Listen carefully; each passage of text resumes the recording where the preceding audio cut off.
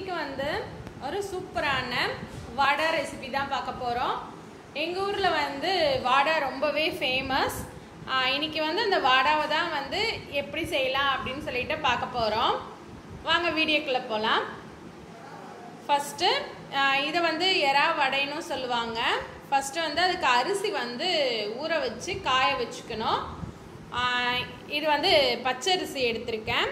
பச்சரிசி மூணு டம்ளர் அளவுக்கு பச்சரிசி எடுத்து நல்லா கழுவிட்டு ரெண்டு மணி நேரம் வந்து ஊற வச்சுருந்தேன். ஊற வச்சு இது வந்து ஒரு வெள்ளை துணியில் போட்டு நல்லா உலர்த்தி வச்சுருக்கேன். கொஞ்சமாக தான் ஈரப்பதம் இருக்கணும். ரொம்பவும் ஈரமாக இருக்கக்கூடாது. அதுக்குன்னு ரொம்பவும் காஞ்சிடக்கூடாது அரிசி. லைட்டாக ஈரமாக இருக்கணும். அந்த ஸ்டேஜில் நம்ம அரைச்சி எடுத்துக்கலாம். இந்த அரிசியை வந்து மிக்ஸி ஜாரில் போட்டு நல்லா அரைச்சிக்கலாம். இது வந்து நீங்கள் நல்லாவே இந்த மாவை வந்து புளிக்க வைக்கணும். இப்போ காலையில் வந்து நம்ம ஈவினிங் செய்ய போகிறோம் இந்த வடை வந்து ஈவினிங் செய்ய போகிறோம் அப்படின்னா காலையில் வந்து ஊற வச்சு இந்த மாதிரி மாவு வந்து ரெடி பண்ணி வச்சுக்கணும். ஈவினிங் செஞ்சோம்னா கொஞ்சம் புளிப்பேறி நல்லா டேஸ்ட்டாக இருக்கும். புளிக்க வச்சு தான் வந்து இந்த வாடா செய்யணும். நம்ம அந்த ஸ்வீட்டில் செய்வோம்ல அதிரசம்லாம் வந்து இந்த மாதிரி தான் ப்ரிப்பேர் பண்ணுவாங்க. அதுக்கும் மாவு வந்து புளிக்க வைக்கணும்னு சொல்லுவாங்க. இப்போ உடனே வந்து ஊற்றுனா நல்லா உடனே செஞ்சால் நல்லா இருக்காதுன்னு. அதே மாதிரி தான் இந்த வாடாவுக்கும் உடனே செஞ்சால் டேஸ்ட்டாக இருக்காது. கொஞ்சம் புளிக்க வச்சு செஞ்சால் தான் நல்லாயிருக்கும் மாவு வந்து அரைச்சிட்டேன். பாருங்கள் பாருங்க இந்த மாதிரி அரைச்சி எடுத்துட்டு இதை வந்து சளிச்சிக்கணும்.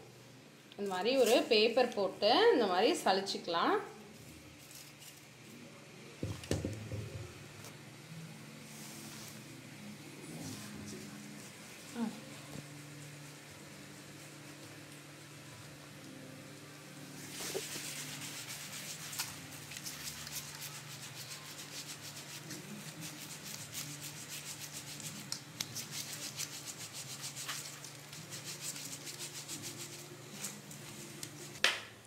மாவு வந்து எல்லாத்தையுமே நல்லா வந்து அரைச்சிட்டேன். இது எப்படின்னா இப்போ கொஞ்சம் கொஞ்சமாக போட்டு அரைக்கும் போது லாஸ்ட்டாக வந்து கொஞ்சம் குறை குறைன்னு வரும் பாருங்க.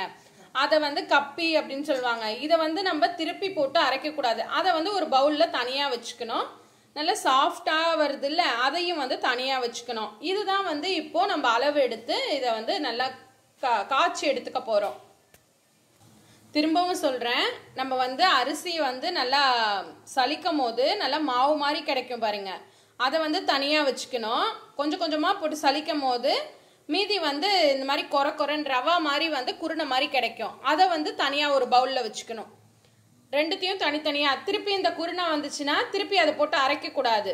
அந்த குருணையை தனியாக எடுத்து வச்சுக்கணும். இதுதான் வந்து நம்ம தண்ணி ஊற்றி காய்ச்ச போகிறோம் ஒரு பாத்திரத்தில் தண்ணி சேர்த்துக்க போகிறேன் நான் எடுத்த அந்த கப்பி வந்து ரெண்டரை ரெண்டரை டம்ளர் இருந்துச்சு. ஒன்றுக்கு ரெண்டு டம்ளர் அளவுக்கு தண்ணி ஊற்றணும் ரெண்டரைக்கு நான் அஞ்சு டம்ளர் வந்து தண்ணி ஊற்றிக்கிறேன்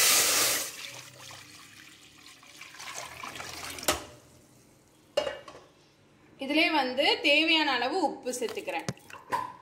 தண்ணி வந்து நல்லா கொதிக்கணும். கொதிச்சோன்னே அந்த பவுடரை ஆட் பண்ணிக்கலாம்.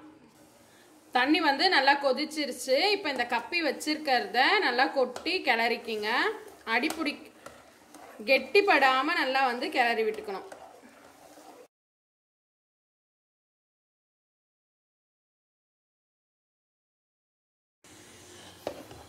இந்த அளவுக்கு வந்து உங்களுக்கு நல்லா கெட்டிப்பட்டுரும். இந்த அளவுக்கு வந்தோடனே நம்ம நல்லா மாவு மாதிரி சளிச்சு வச்சுருக்கோம்ல அதையும் வந்து சிம்மில் வச்சுட்டு ஆட் பண்ணிக்குங்க.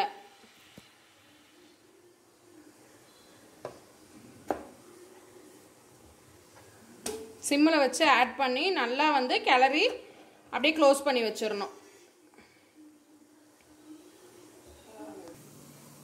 மாவு வந்து இந்த மாதிரி ஃபுல்லாக நல்லா கிளறி வச்சுக்கணும். சூடாக இருக்கும். இதை அப்படியே வந்து க்ளோஸ் பண்ணி வச்சுருங்க. நான் வந்து நைட்டு இதை ப்ரிப்பேர் பண்ணி வச்சுருக்கேன். காலையில் வந்து எப்படி இருக்குன்னு காமிக்கிற மாவு காலையில் தான் நம்ம சுட போகிறோம் அந்த நைட் ஃபுல்லாகவே நல்லா ஊறுச்சுன்னா நல்லா டேஸ்ட்டாக இருக்கும். நீங்கள் ஈவினிங் செய்ய போகிறீங்க அப்படின்னா காலையிலேயே வந்து இந்த மாதிரி மாவு கிளறி வச்சுருங்க. கிளறிட்டு ஈவினிங் வந்து செய்யலாம். ஒரு டென் ஹவர்ஸ் டென் ஹவர்ஸ் ஆச்சு இது ஊறணும். அப்போ தான் டேஸ்ட்டு நல்லா இருக்கும். நல்லா புளிக்கணும் மாவு. நம்ம நைட்டே வந்து ஊற வச்சுருந்த மாவு வந்து நான் காலையில் எடுத்துட்டேன். எடுத்து இதில் வந்து நம்ம நம்மளுக்கு வந்து மாவு வந்து நார்மலாகவே கெட்டியாக தான் இருக்குது. இதில் வந்து கொஞ்சமாக நம்மளுக்கு கொஞ்சம் மொறுமொறுப்பு நல்லா சாஃப்ட்னஸ் கிடைக்கணும்னா கொஞ்சமாக வந்து ரவா சேர்த்துக்கலாம். நீங்கள் வந்து ஒரு சின்ன பவுலில் எடுத்து செய்கிறீங்க அப்படின்னா ஒரு ரெண்டு டேபிள் ஸ்பூன் அளவுக்கு நம்ம ரவா சேர்த்துக்கலாம். ரவா வந்து சேர்த்துட்டு நல்லா வந்து கிளறி விட்டுருணும் ரவா சேர்த்து நல்லா வந்து கிளறி எடுத்துக்கணும். ரவா போட்டு ஒரு அஞ்சு நிமிஷமாவது ஊறணும் மாவு. ஹாஃப் அன் ஹவர் வந்து ஆயிடுச்சு. மாவு வந்து இந்த மாதிரி கையில் வந்து ஈரமாக வச்சுக்கணும். இந்த மாதிரி வந்து கொஞ்சம் நல்லா பாலாக எடுத்துக்கோங்க. எடுத்துட்டு ஒரு துணி இல்லைன்னா கையிலேயே இந்த மாதிரி நம்ம வடை தட்டுவோம்ல அந்த மாதிரி ஈரம் பட்டு பட்டு வச்சு தட்டிக்கணும். இந்த மாதிரி தட்டி ஒரு ஹோல் போட்டுக்குங்க.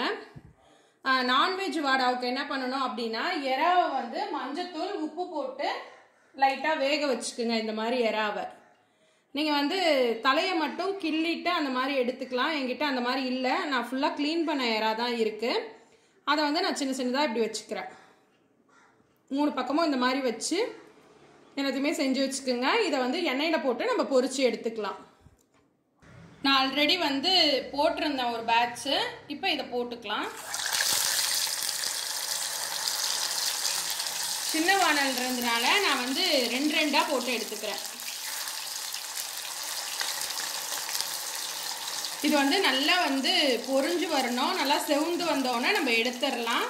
நல்லா சாஃப்டாகவும் மேலே முறுமுறுப்பாகவும் கிடைக்கும் நம்மளுக்கு. வெஜ்ஜுக்கு வந்து இந்த மாதிரி எடுத்துட்டு ஒரு வெங்காயம் வச்சுக்கலாம். வெங்காயம்லாம் வச்சும் நம்ம செஞ்சுக்கலாம்.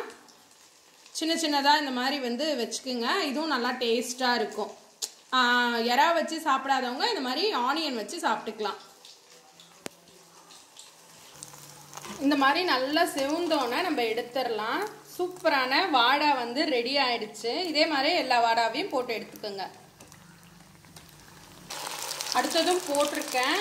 இதுவும் அந்த மாதிரி நல்லா கலர் சேஞ்ச் ஆகி வந்தோன்னே எடுத்துருங்க. சூப்பராக ரெடி ஆகிடும் நல்லா சூப்பராக வந்து ரெடி ஆயிடுச்சு பாருங்கள் பார்க்கவே அழகாக இருக்குது டேஸ்ட்டும் சூப்பராக இருக்குது நீங்களும் இந்த வாடாவை வந்து வீட்டில் ட்ரை பண்ணி பாருங்கள் ட்ரை பண்ணி பார்த்துட்டு எப்படி இருந்துச்சுன்னு கமெண்ட்டில் சொல்லுங்கள் என்னோட பிரணவ் சமையல் சேனலை ஃபஸ்ட் டைம் பார்க்குறீங்கன்னா சப்ஸ்கிரைப் பண்ணிக்கோங்க.